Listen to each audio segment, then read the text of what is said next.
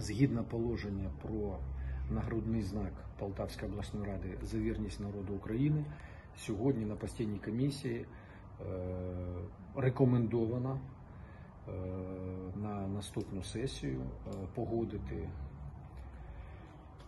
відзнаку майже 200 е, військовослужбовців, це і солдати, і офіцери, і відзнака за вірність народу України першого або другого ступеню. На жаль, є частина е, осіб, яким ця відзнака буде присвоєна посмертно.